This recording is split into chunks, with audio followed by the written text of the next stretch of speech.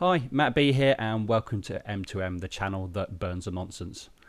Level Earth Observer, he's up to it again. Anyway, before we start and get into that, uh, if you're new to the channel, please hit the subscribe button and push the bell notification, and you'll be notified when I upload more videos. But the best thing you do is comment below, let me know how I'm doing, and let me know how I can actually improve, or whether I've said anything something stupid. So, what's he up to? Let's roll the credits and find out.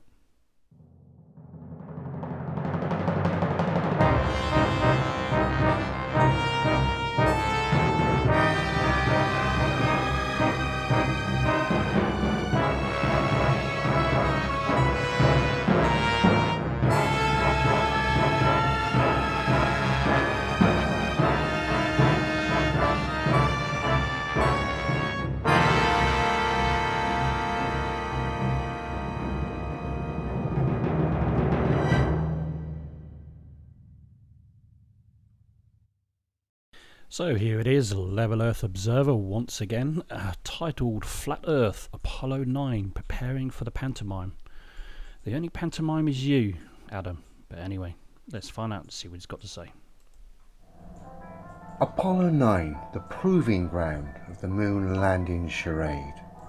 Yeah, so here it is straight away. James McDivitt, he was the commander for Apollo 9. Um, for your information, Apollo 9 was the um, first test of the uh, lunar module uh, during the Apollo program, um, and it was tested um, above low Earth uh, orbit uh, to check out its uh, instruments and avionics and make sure it's all working properly. So the practice was to move apart from the command module and then rendezvous again and and redock. so that was the test. So anyway, let's see what Adam's got to say essentially testing manoeuvres supposedly round the ball Earth. Uh, not supposedly, it was the globe Earth, Adam. Two craft, 100 miles apart, come together and dock whilst they're supposedly doing silly speeds around globe Earth. Not silly speeds, Adam. They're uh, speeds that are necessary to keep in orbit. Um, somewhere in the region of 17,500, 18,000 miles per hour, somewhere in the region preparing for the moon landing. So let's have a listen to the story and let's break it down for the absurdity that it is. We know the globe is scientifically impossible anyway.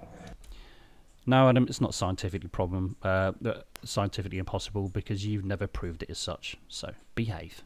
But let's just look at this globe evidence with a little bit of discernment and just break it down for the nonsense that it is. So when we first got into orbit, we were we had a lot of stuff to do, and so we needed to make sure. Dear, oh dear. That we had the, all the data we could get. Again, nickname Spider. I'd call her Airfix. Well, to be honest with you, what we're actually seeing on the screen is a model. Uh, that's not the actual uh, lunar module. I'd call the old girl Airfix myself.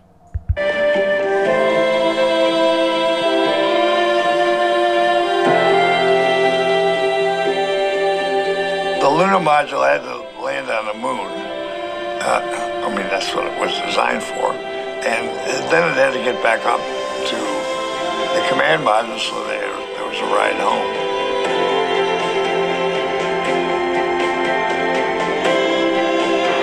How does that sports car handle, Jim? again, I, I, I don't want to be rude or disrespectful, but I don't give up demonstrable reality in favour of stuff like we've got on our screen right now. I'm sorry. You're not sorry at all, Adam. Why would you apologise? Because this is reality. It's just that you can't see it and you won't accept it. That is clearly ridiculous. You see, this is all you've got. Once again, Adam, all you got is look. that It looks ridiculous. Oh, it looks fake. But all your claims of looking of fake, you've never been able to prove uh, that it as it is faked or how it was faked. That's the same with all flat earthers. When we ask for uh, for their claims of CGI and how it was uh, done, there's never a response. Never been able to prove it. Just listen to your mate there, trying to make this interaction seem real, when actually he's chatting to a fucking model. 226. How does that sports car handle, Jim?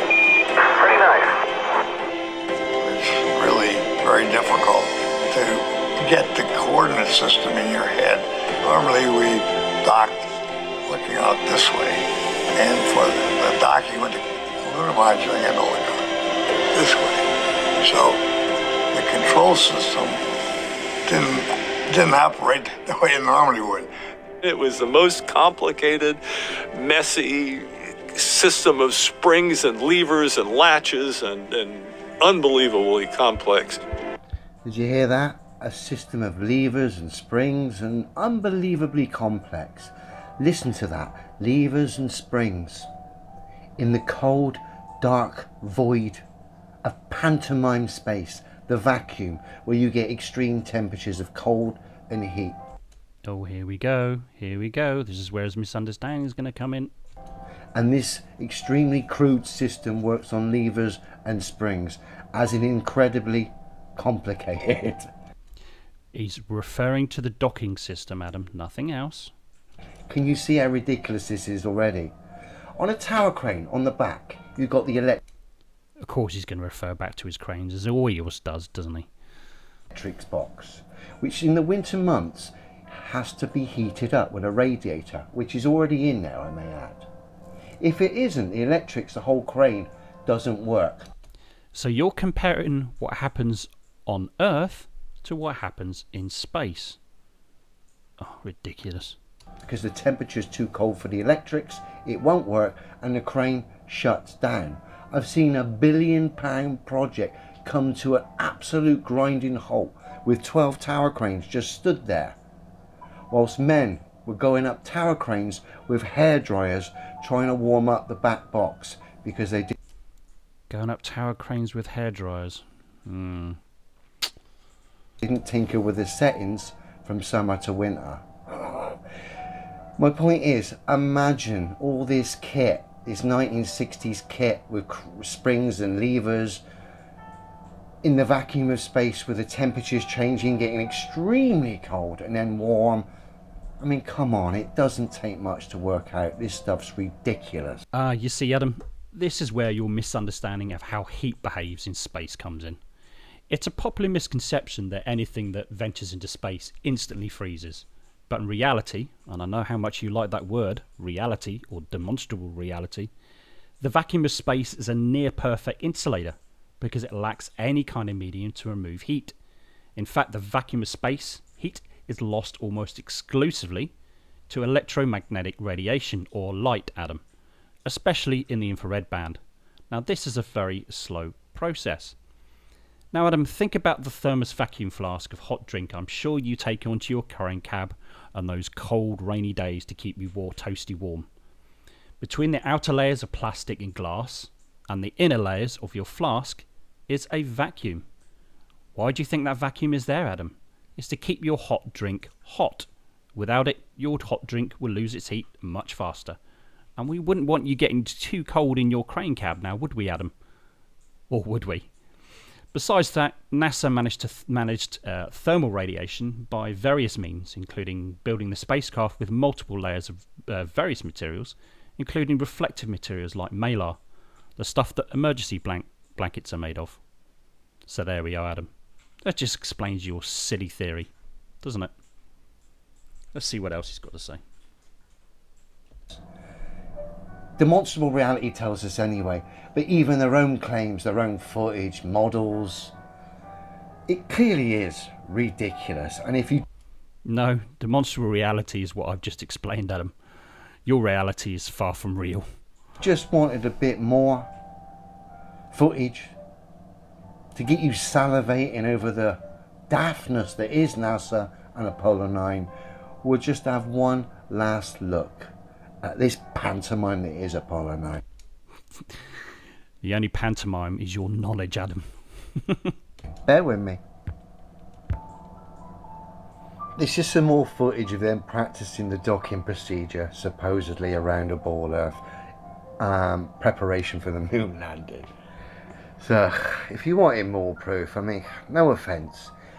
If you'd expect me to get in some kind of spacecraft hurtling around a ball at ridiculous speeds, you're going to have to improve the build quality if you want me to get He keeps going on about these ridiculous speeds, but he just doesn't seem to understand orbital mechanics. Those speeds are necessary to stay in orbit. Not that you'd understand what orbit is.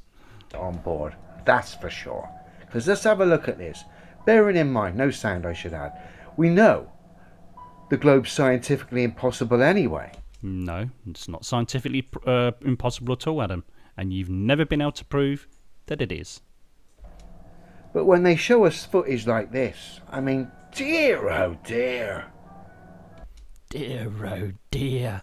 See, this is all he's going to be doing. He's just going to point, point and say, "Look, it looks fake. It looks fake. It looks fake. Look, it's fake." But you've never been able to prove how it's ever been faked or how it's CGI. None of you have. Again, the build quality of probably Blue Peter. Airfix wouldn't go anywhere near that. Look at it. Look at it. It's fine. It works, and it did work.